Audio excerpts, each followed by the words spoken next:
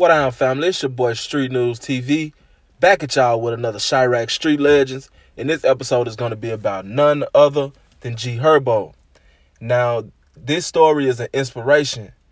Um, it's an inspiration for um, drill rappers. It's an inspiration for, you know, anybody that just comes from the streets in general. Not even necessarily just the streets of Chicago.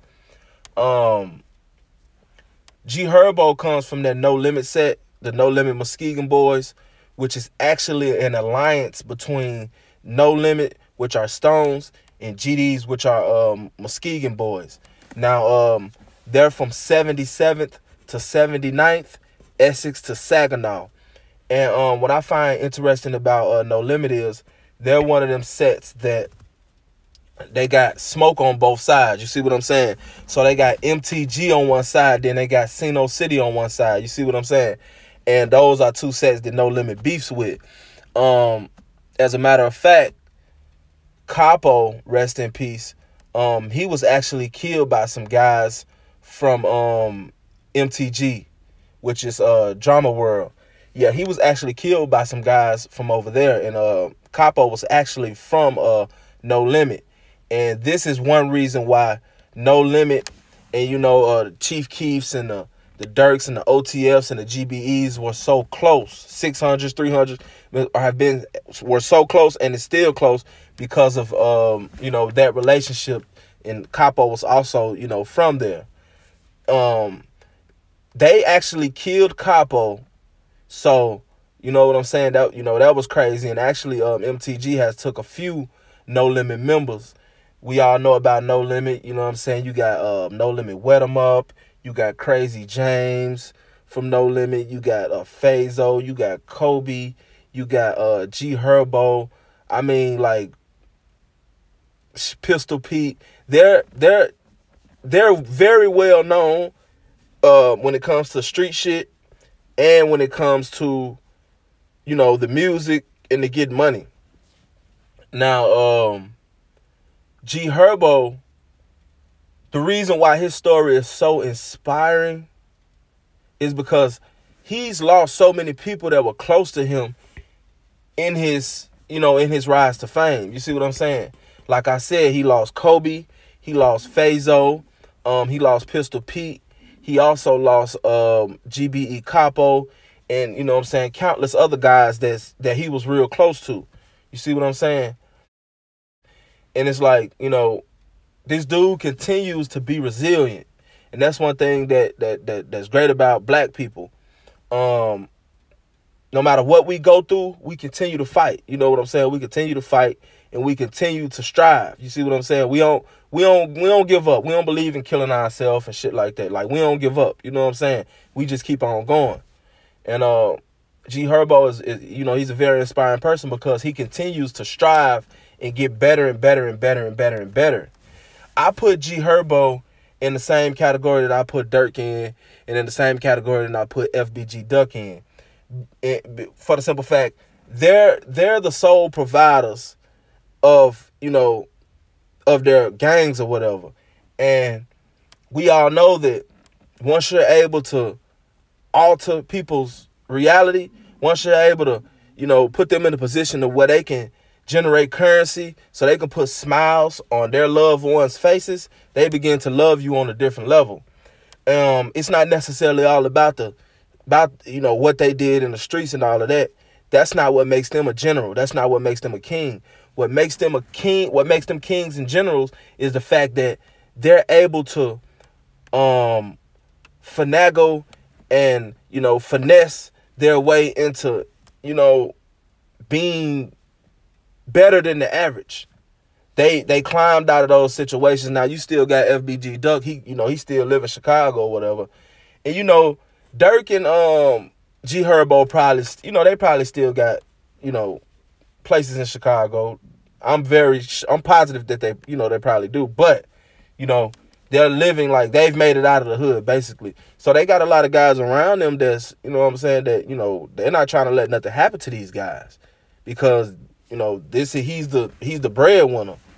You know, not to say that they don't, you know, they don't still love him outside of that, but still, like, they're gonna more love you more. It's just what it is is it's, it's just human nature. You see what I'm saying? Um, but anyway, yeah, he's lost a lot of guys, and he continues to strive. And his music, in my opinion, it it, it gets better and better. Um, even from the first time I heard Herbo, my brother actually put me on Herbo, and I know y'all hear me talk about my brother a lot because my brother put me on a whole lot of, you know, he put me on a whole lot of drill rappers that I wasn't, you know, accustomed to listen to. Um, another another example being King Louie. He put me on King Louie, but um, yeah, G Herbo.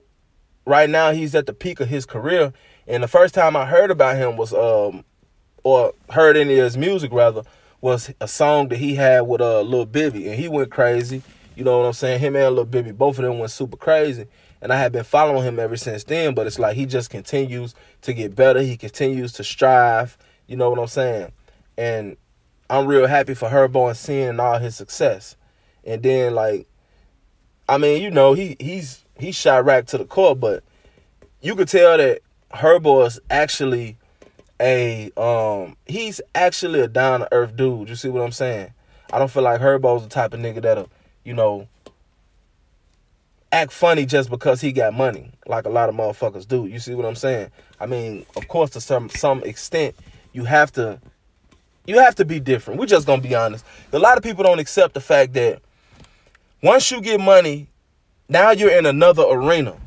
So the things that you were doing before you got money, you aren't gonna. I, I, I, you know what I'm saying? And I'm gonna keep saying that because people act like, you know, when people get money and they decide to move on out the hood, people act like that's a bad thing.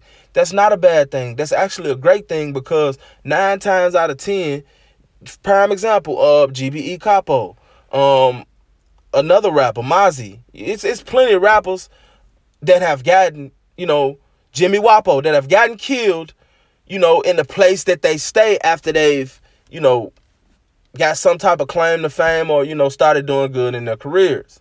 So, you know, he's made it out and he continues to um he continues to impress me by, you know, just by watching him grow up and, and seeing the man that he's become.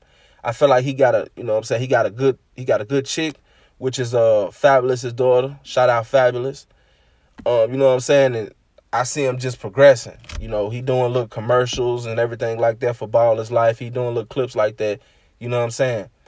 And um shout out to Bibby. I think that eventually he'll transition into being more of the uh the Bibby, the little Bibby. And the reason why I say that is because we understand that you make more money behind the scenes than you actually do rapping. This is facts. That's why you see rappers um eventually end up going into things like um acting and you know what I'm saying? You might see them wrestling or any damn thing. You see what I'm saying? Because it's money in that gaming, it's money in that. You know what I'm saying? So eventually I feel like he'll be more behind the scenes, but also um, you know, don't forget you can be, you know, a rapper and, you know, get your money behind the scenes too. Prime example, Master P. Um, Dolph is one of those rappers. As of right now, um, Gotti is one of those rappers. You know, those rap P. Diddy was one. You know, the rappers that, you know, they rap. Snoop Dogg, they rap.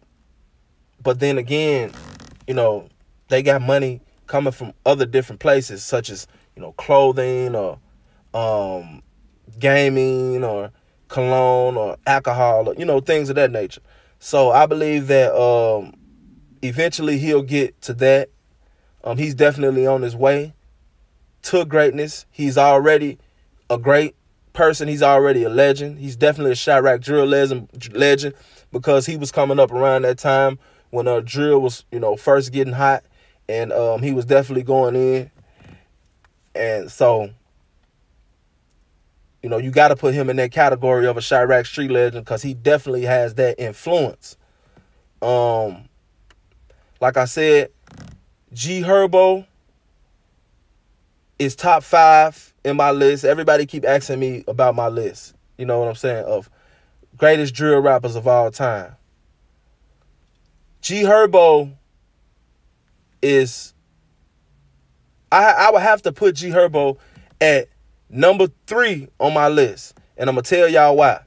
Because outside of the music, which the music is good too, and actually Pappy is my number one, but if I look at it from a success angle, because Pappy never got Pappy never got the opportunity to blossom into, you know what I'm saying, into success. So if I look at it until, you know what I'm saying, it's just a success level, I would have to say um, Chief Keef, um, Lil Durk, then I would have to say, you know, G Herbo when it comes to drill. So, like I said, he's definitely top five. So he's the number. He, he's the third person in my um. So he's definitely top three with me of the greatest drill rappers ever. Um, what he's brought to the game and what he's still bringing to the game, and everything that he's endured. You already know what time it is. Um, Street News TV, giving y'all this shit to y'all raw and uncut. I have been and I will continue. As of right now, that I'm, while I'm doing this video, we're um, a little bit up under a thousand subscribers. So make sure that y'all subscribe to the channel. Um, we got a long way to go, but it won't take us too long to get there. It's your boy SN TV. I'm out.